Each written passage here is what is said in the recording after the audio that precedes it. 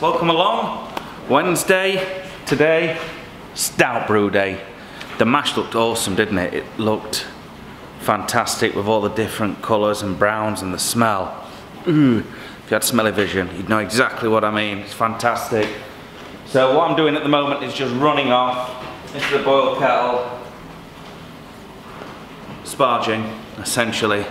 Uh, bit of time to wait for this to finish off. So I need to busy myself with another job. So I've decided to make a start on the framework for the cold room. Now last night I kind of uh, set about thinking how exactly are we going to achieve this cold room situation. So what I'd like to do is build in sections that can fit one or two pallets side by side, one or two Euro pallets in side by side.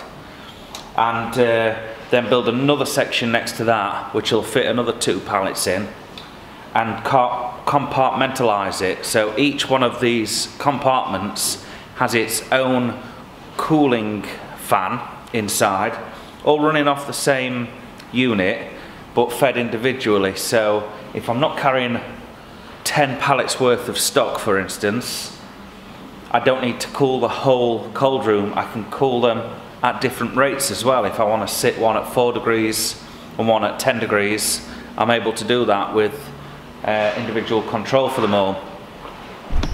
So the plan is to sit them along this back wall where you can see we've got the timber and steel storage. So all this timber rack here now is uh, finished with. We need this space, so I'm going to have to strip it all out, move it all to the top of the unit and uh, start the edge wall there. That's where the edge frame's going to live. Sort of coming out where the timber rack is at the moment. And then we're going to have to move the steel rack.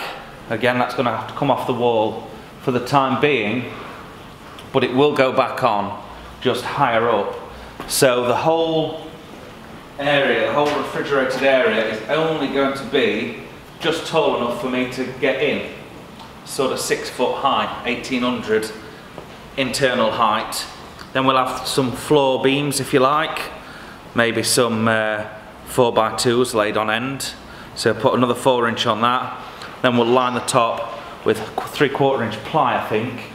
So we'll have a mezzanine up there to store things. A little bit like what we've got there, but I don't really store anything up there.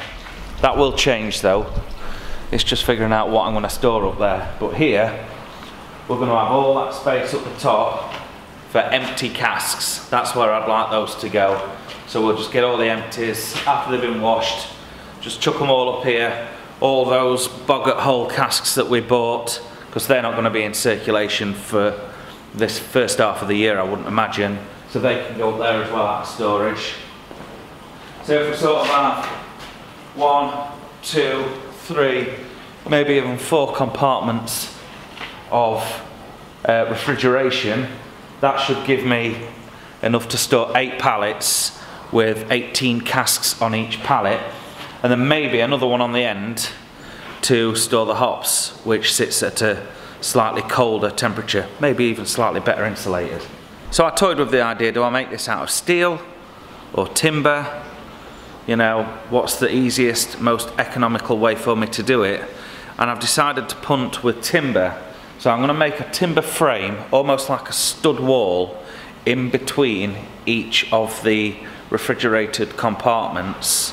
And then we'll dress those out, almost like bedrooms in a, you know, in a new build, if you like, with the stud partitions running all the way along the back and down the sides. That will then allow me to put one inch Extratherm installation or Kingspan, whatever you want to call it, on the inside where the stud wall is. Then fill the stud wall with loft insulation, which is considerably cheaper. And then on the back, well, when it's against the wall, it won't need anything. But in between, the other side will just have a stud wall on it, another sheet, sorry, another sheet of Extratherm or Kingspan insulation and the very end one well that can just be a plywood and I can use the wall space to hang things on or whatever, put shelving up, whatever I need to do. So that I think will give us enough insulation to keep the beer cold. Same with the roof as well.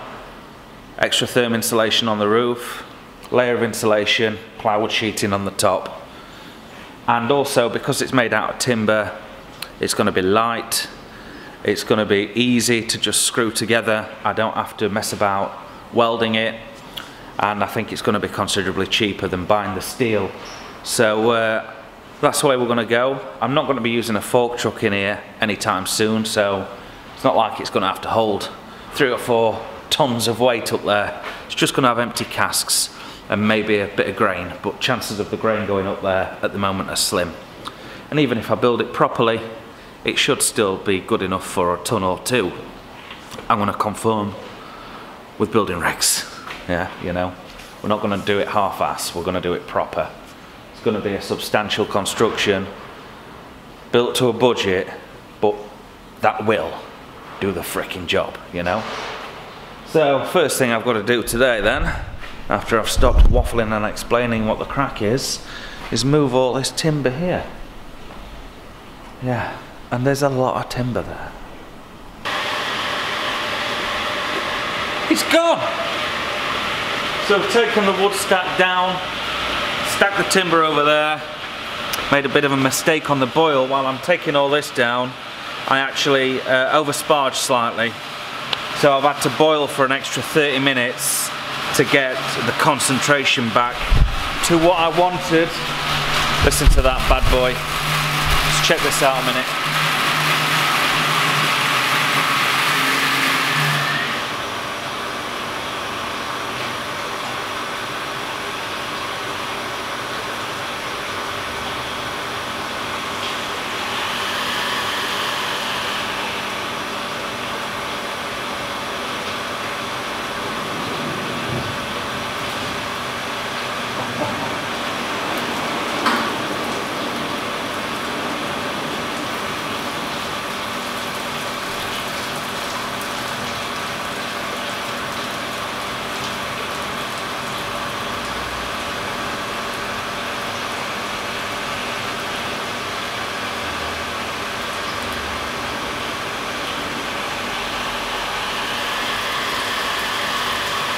Yeah, so I made a mistake. So we've got beer pouring out the side of the boil kettle at the moment. Because I oversparged out too much volume, because I had too much volume, I couldn't boil it down without it boiling over. So I just threw caution to the wind and I let it boil over. So we lost a little bit of efficiency today. We lost a little bit of beer to the floor. If you look at the floor there, you'll see it. And uh, that was me just uh, purging the air out of the plate chiller, which caused it to jump out the top of the kettle.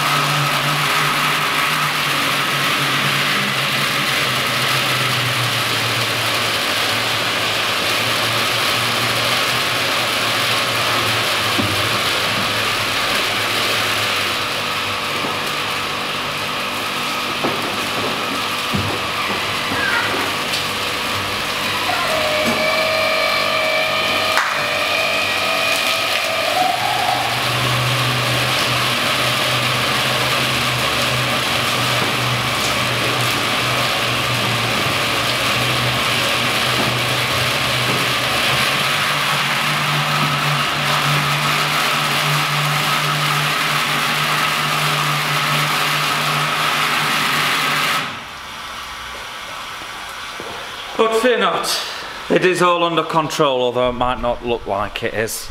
So we've got another 15 minutes to uh, half an hour on the boil. Yeah, 27 minutes actually. Uh, then we should be ready to add. No, let's get it straight, lad. 20 minutes before I add the Protafloc, and 30 minutes in total before I transfer and then hopefully we should hit our numbers. This time I'm reducing the ABV anyway, so it's going to be what it's going to be. I'm going to have to make a new pump clip for it, so if it comes out at 4.8 or 4.5, That's what I will declare. Doesn't make much difference to me on this one because I'm not brewing uh, exactly to the ABV that I want. I just need to bring it down. Ended up at 5.6 last time. Way too high. Way too high. Bloody good stout though. So this time round, bit thinner. Bit of a cock up, let's be honest. Bit of a cock up. But these things are sent to test us and uh, because I'm brewing for us and for the brew shed, it doesn't really matter all that much as long as the beer is top freaking draw. Right now I need to get the rest of this uh, moved, all this timber stock down here. I'm going to use a lot of this to make some more picture frames with like I mentioned on yesterday's vlog. And uh, then also I'd like Stuart to get back quick as possible and pick up a load of this bad boy. That's right. C24 construction timber. It's basically 3x2. And uh, I need this to build the framework. I could get started now, but I'm afraid he's uh, predisposed. Emptying the van up at the tip. But as soon as he's back, I'm going to send him for, well, loads of this stuff. Literally loads of it. And then we've got four frames to make and a whole, whole mezzanine to build quite a job.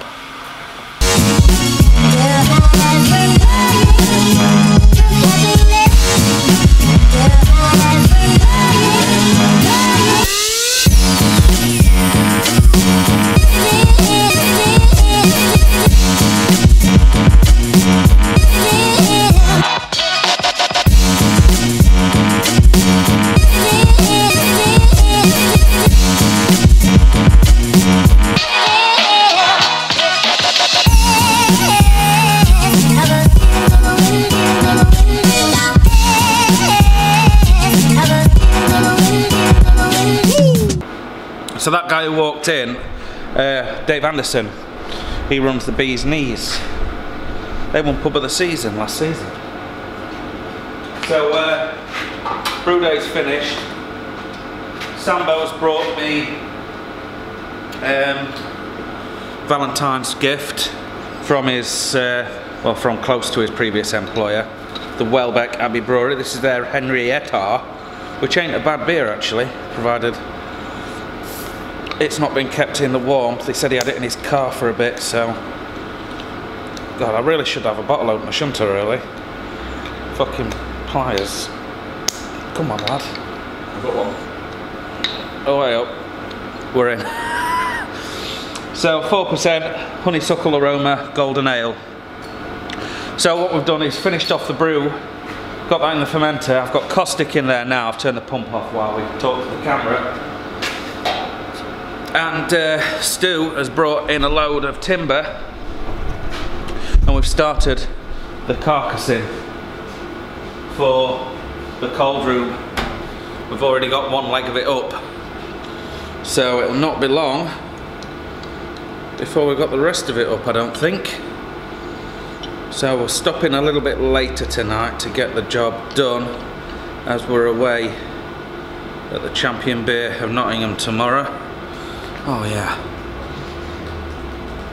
Oh, that's all right. Yeah, so it's beer. It's beer and uh, bag of chips time.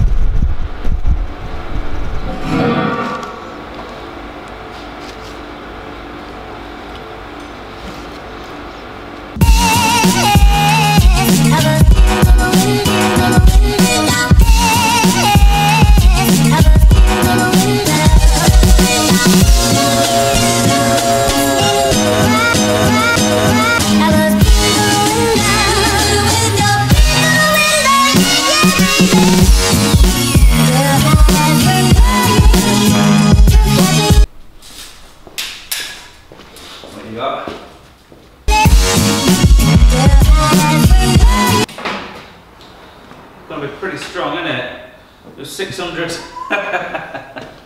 600 centres. And we've just got to do this one. Where's tape? Uh, just we can put on top of there. Not going to take it?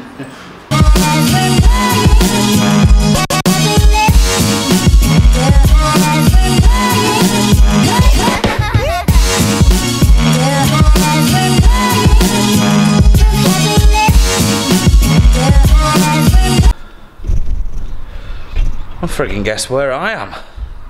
I'm only on the mezzanine. It turns out it's high enough after all. Look at that.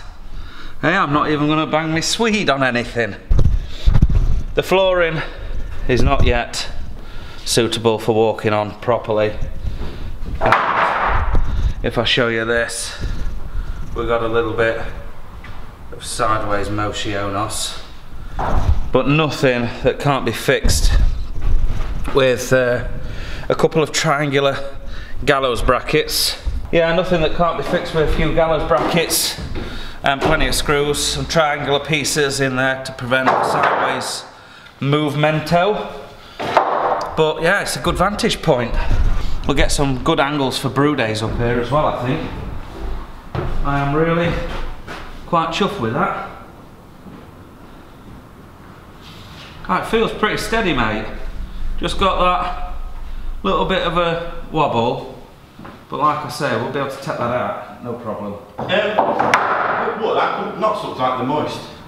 Because they're bleeding. It looks like they're sweating. Yeah, the knots are bleeding, so it's resin, it's uh, amber, if you like.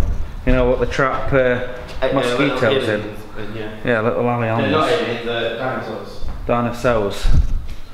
Yeah, man. Anyway, it's approaching 8 o'clock. I've kept Stuart so busy, he's missed about four dates with four different women. So, uh, yeah, it's 8 o'clock. So I better let him take me home instead, eh? Lucky fella. And we'll catch you tomorrow for the CBON. Wish me luck.